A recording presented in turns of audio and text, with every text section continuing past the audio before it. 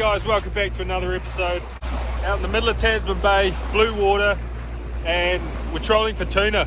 I had one strike before, but it didn't hook up, and there was only the one fish, so I don't know where the rest of the school was. I've got three tuna lures out, two hand lines, and one on the rod, and we're just going to tow around for the next two hours around this uh, contour line, about 50 metres, and see if we can hook up. Play the waiting game. It's not the most exciting, but when we hook up, it's all worth it.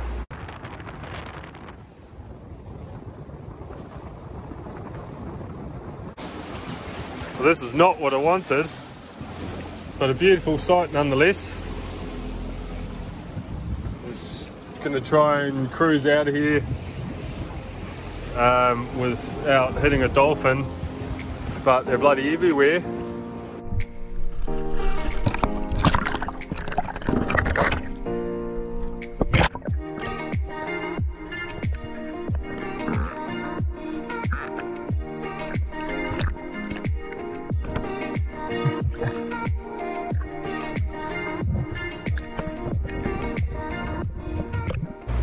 It is just mint out here. Just absolute glass everywhere you look. makes it really easy to spot birds. Um, although the birds I am spotting are hanging around with the dolphins, so I think maybe the dolphins might be getting into the fish.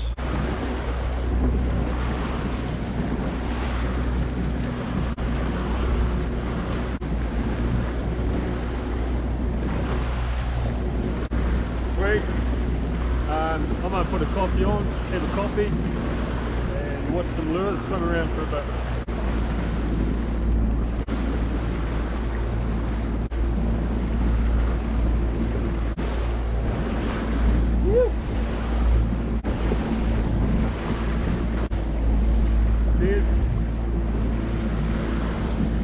Alright, so I just spoke to another boat and he hooked up, he's caught one so far. So they're definitely here. I'm just going to keep hanging around for as long as I can really. As I said, I had the one strike but it didn't hook up and have had nothing since but hopefully give it a bit of time and hopefully we'll hook up soon.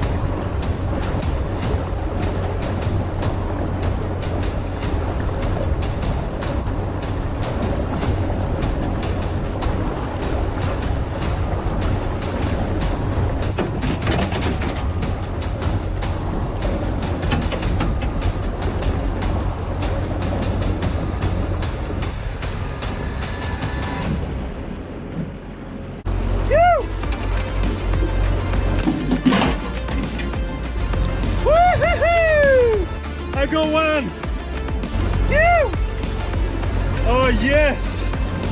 Look at that fish! I'm just gonna bleed it.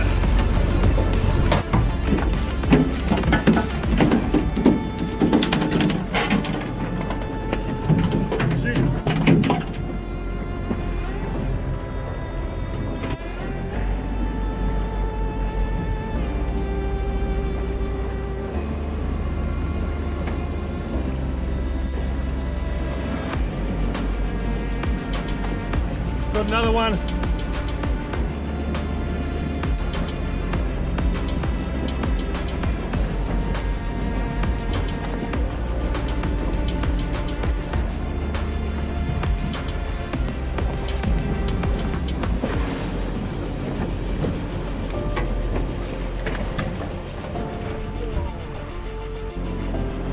Ouch. Didn't have time to put my gloves on. I'm getting paid for it.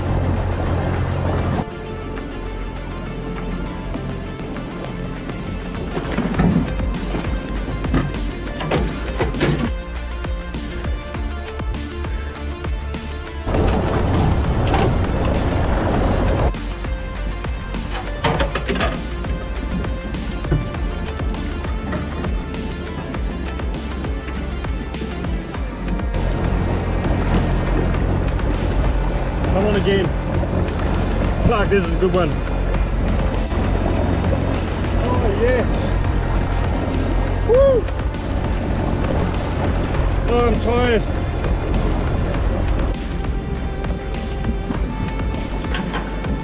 Yeah, I hooked up again.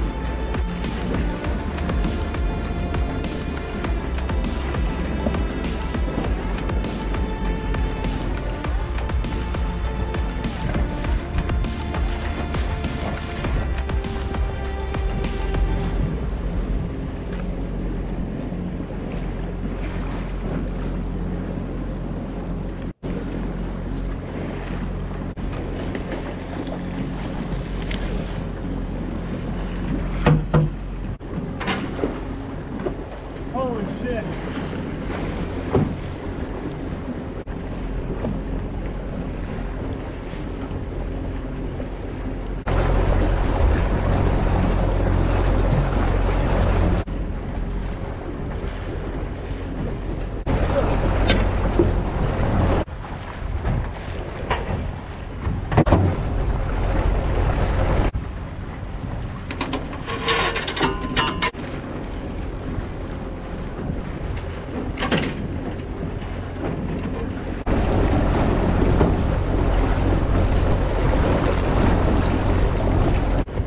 Gonna have to get the gloves on for this. My hands are ripped. Oh shit, I'm having a heart attack.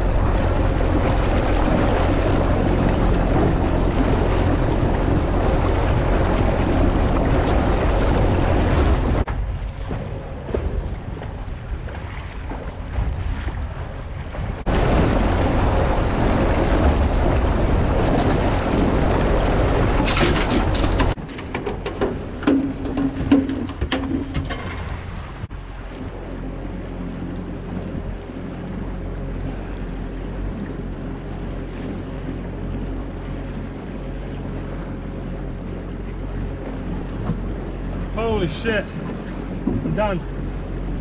I'm done. The whole day. The whole day out here. And in the last 10 minutes, just as I'm heading in, I hit the school. Dolphins hanging around for a free feed. Absolutely bloody epic. Look at the size of these things. Perfect eating. Oh, I just can't wait to have some sashimi. Woo! Alright, that was hard work man, I need to clean up because this boat is a mess.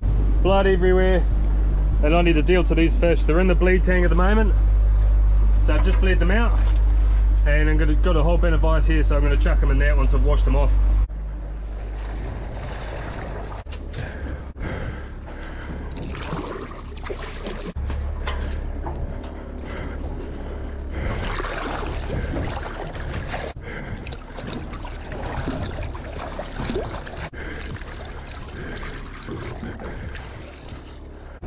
Carnage. Alright, I'm done. Alright, so we're back on land now. We chilled that albacore down, we cut it up, and we've had a few feeds of sashimi already. But there is a limit to how much sashimi a man can eat, and believe me, I've been there. So we're gonna go home, and I'll show you another way how to make that albacore tuna go the distance. We'll see you back in my place.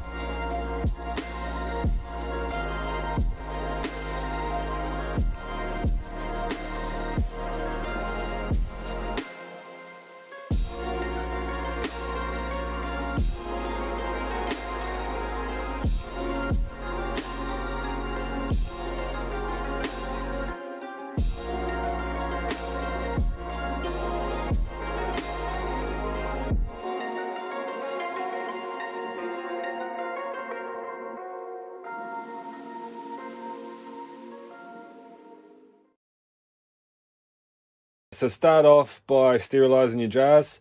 Put a layer in the bottom, a tea towel in between, and fill them up with water. Bring it to the boil. While you're waiting for that to boil, you can cut up your tuna into manageable bits. Use a cup that's about the same size as a jar to get an idea of how much you need per jar. Once those jars are boiled, pull them out of the hot water and leave them to air dry. After you've done that, you can bottle up your tuna. We're going to do sweet chili here, so we put a tablespoon of sweet chili at the bottom, stack it up with as much tuna as you can fit, and then fill up the rest with both olive oil and sweet chili sauce with one tablespoon of salt.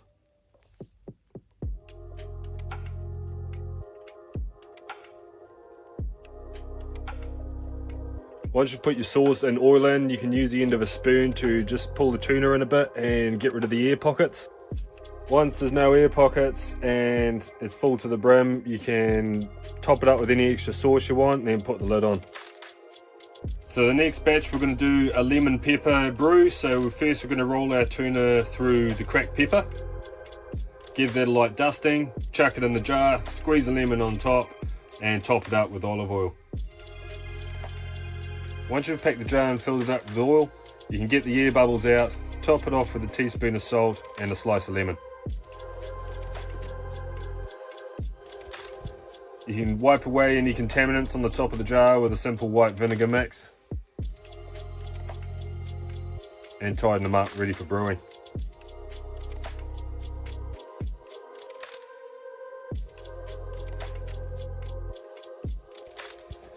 That's the second brew there, lemon pepper. Bloody good. Now we're just got to make it through the remainder of the jars to make it a worthwhile process.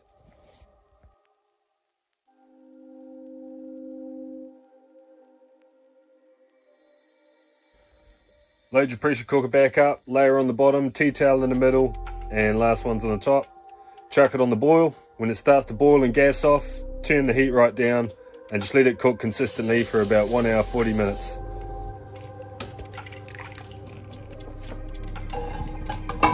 Once it's done, pull the jars out to cool and let them pop down. If they pop down, that means they're sealed. The ones that don't pop down, you've got to consume in the three days. All right, so we just got a basic salad here. Basic salad, and we're going to chuck some of this tuna in there. Now, I have already tried all three flavors that are made, and General consensus was the lemon pepper was the best, but I do like this chili one as well. These are the ones that didn't seal, so that any that don't seal, you can recook them, but the other option is to just eat them within three or four days, and it's pretty easy when it tastes this good. I'm just going to load up my salad with a whole bunch of this tuna, a bit of sauce. And this will last, it's known to last over a year, but it won't last that long. It'll get eaten. I've gone through about three jars already. There it is, guys. Beautiful, homemade albacore tuna salad. Give it a crack. Um, it's definitely a good thing to do to tuna. Another way of making your fish last. And it's absolutely delicious. Cheers.